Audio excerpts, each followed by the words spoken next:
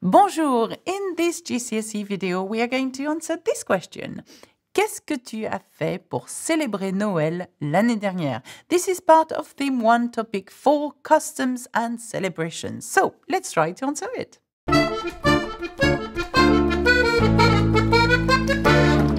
As always, there is a support guide available with this lesson. So please join our community to have the uh, to have access to the support guide and check learnfrenchwithalexa.com, my awesome website. Okay, let's try to answer this question. Qu'est-ce que tu as fait pour célébrer Noël l'année dernière? If you look at the question, you can see that this question is in the past tense, the passé composé. Qu'est-ce que tu a fait. So therefore, we are going to answer in the past tense. I'm going to give you three options of answers. Okay, so it's up to you what you choose, and it's up to you the way you are going to formulate your answer. But let's have a look at why these question answers are uh, will get you uh, high marks. Okay, so this is one part of the suggested answer. Je suis allé chez mes grands-parents qui habitent dans le nord de l'Angleterre. Nous avons fait une longue marche à la campagne et ensuite ma grand-mère a fait du chocolat chaud. L'année prochaine, nous passerons Noël avec ma tante et mon oncle. Okay, so this is one of the answers that I'm uh, giving you today. Why is this a good answer? Well, first of all, because we are using a passé composé, just like in the question. So, qu'est-ce que tu as fait? Then I'm telling you what I've done in the passé composé. Je suis allé. So let's have a look at that. Je suis allé. This is really good because you show the examiner you can use aller in the passé composé. And aller is conjugated with the auxiliary verb to be. So you need to be able to know how to say I am, you are, and so on in the present tense, of course, of to be. So je suis, tu es, il est, etc. And then add the past participle of the verb you want, aller. So why am I using to be and not to have? Is because aller is known as a movement verb, okay? So you wouldn't say j'ai allé, I have, and then allé, You would say je suis allé. I went. And why, maybe you may wonder, why did I do that? Had an E to it.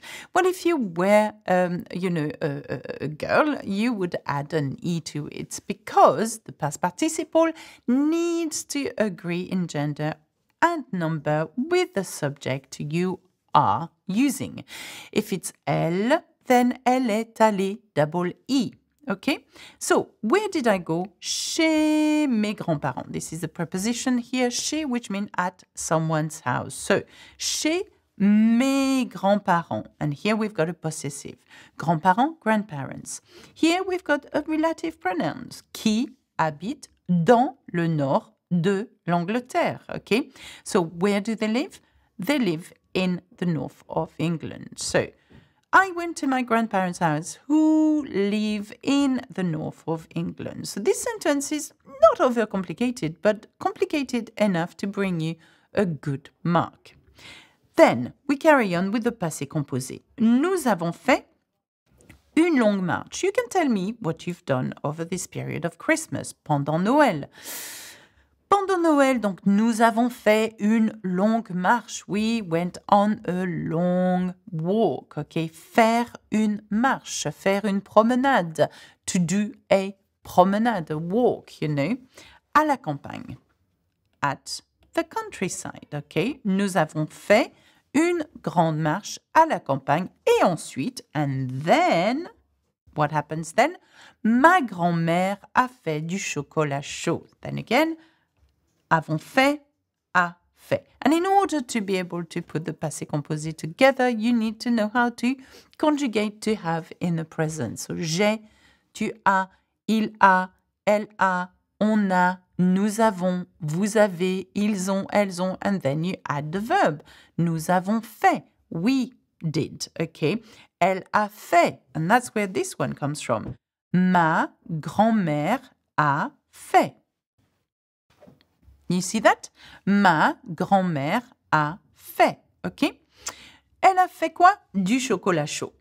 Hot chocolate. Mm. And then I've added another tense to it. And this is how you can add the difficulty to your uh, answer. I've added the futur. L'année prochaine. So I'm telling you, okay, this is what I did, but next year, l'année prochaine, okay, nous passerons Noël avec ma tante et mon oncle. So that makes it even harder. Next year, we will spend. Okay, learn how to use the verb passer. Okay, passer means a lot of things, but passer means to spend some time as well. So, nous passerons, we will spend, or we will do, or we will be for Christmas with my auntie and my uncle. Okay, so this is a fairly good answer because it, you know, it has all kind of difficulty in it, and it shows that you can conjugate in the passé composé and in the future. Alternatively, you could say, I stayed at home for Christmas. I did not go anywhere. Je suis resté chez moi. Again, the difficulty is here because you're using rester and it is also known as a movement verb. Just like aller, you conjugate it with the auxiliary verb to be. Okay, je suis. And then add the past participle. Je suis resté chez moi. I stayed at my house. J'adore ça. I love it. Oh, I love this. J'adore ça. Why? Just tell me why always. Develop your answer.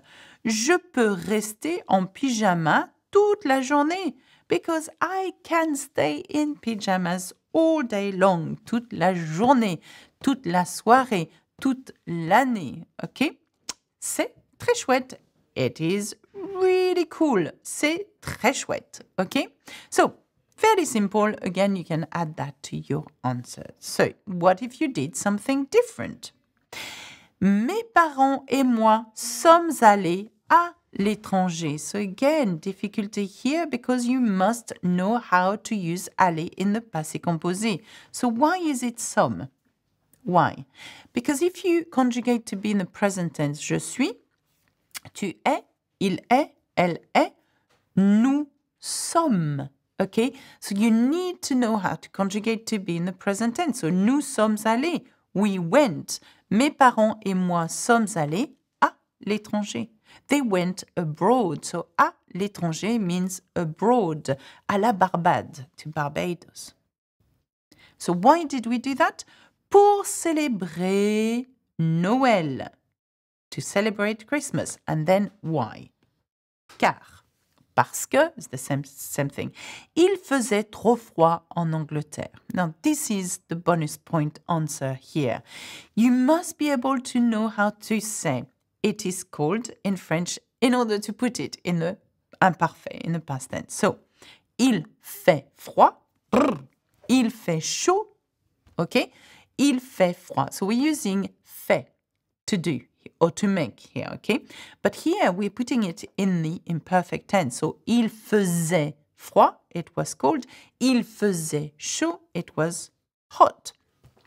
Il fait trop froid. It is too cold in England. Okay. Now remember that if you're using countries, put en in front of it if it's a feminine country and au, au, masculine country.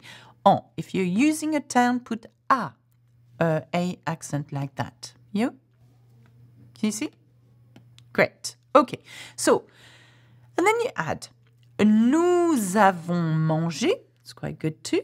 Okay, so again, you're showing the interviewer, the examiner, that you can use a passé composé with a verb, uh, depending on whether it's a movement verb, such as aller and rester, or not a movement verb, such as manger. In that case, we use to have. J'ai, tu as, il a, elle a, nous avons. Nous avons mangé. We have eaten. Okay. What did we eat? Des spécialités locales. Okay. Here we are very careful, and again, you you can't hear it, but on, um, but that will come useful to you when you do a writing exam. Try to be as accurate as possible. So we have eaten specialties, local specialties from the region. Okay, here we have agreed on the S here. Okay, and speciality is uh, feminine. Okay, so we've added an e to it. So, nous avons mangé des spécialités locales et nous nous sommes baignés. So, this is really hard. But my gosh, it will bring you a lot of points. Dans la mer. Why is it hard? Because here we're using a reflexive verb. So the reflexive verb is se baigner. And se baigner means to have a, a, bath, but to have a swim. Okay, in that case, in the sea. So se baigner, to paddle a bit, you know, se baigner is here a reflexive because it has se in front. When I mean reflexive, that means that the verb brings it back to you. So you are bathing yourself, if you wish. But how does that work in French? Well, it's quite simple. You must know the pronoun that comes with each subject pronoun. So the reflexive pronoun that comes with each subject pronoun. For example, for je, it is me. So je me baigne. I am bathing myself. Tu te baignes. You are bathing yourself. Il se baigne. Elle se baigne. On se baigne. Nous nous baignons. So this is where it becomes weird. Nous nous baignons. We are bathing ourselves. Nous. Vous. Vous baignez. Okay, so you are bathing, uh, vous, you are bathing yourselves. Ils se baigne, they. Okay, so why did we put here suddenly some baigner? It's because reflexive verbs, and this is where it becomes complicated. And again, if it's too much for you, just don't worry about that.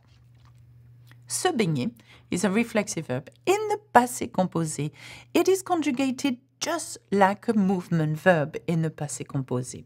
Okay, so you must use it with the auxiliary verb to be in the present tense.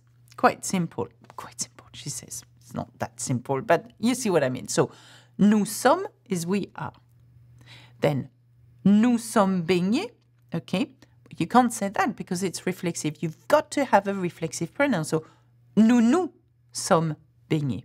Do you see how it works?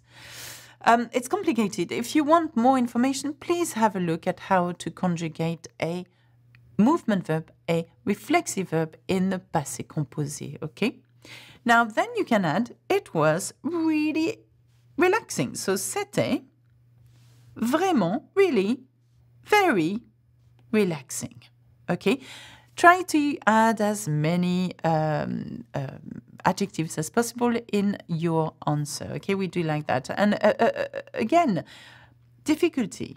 You know, if you cannot put all these difficulties in one answer, it's quite quite okay. But try to put at least one difficulty in it. Yeah. So to show the examiner that you understand what you are saying. Okay, that's it for me. Remember, there is a support guide with this lesson if you join my community. Subscribe, please, and leave a comment and show us what you can do. And uh, I will endeavor to, to correct you. That's it for me. Au revoir, à bientôt. Bisous, bisous.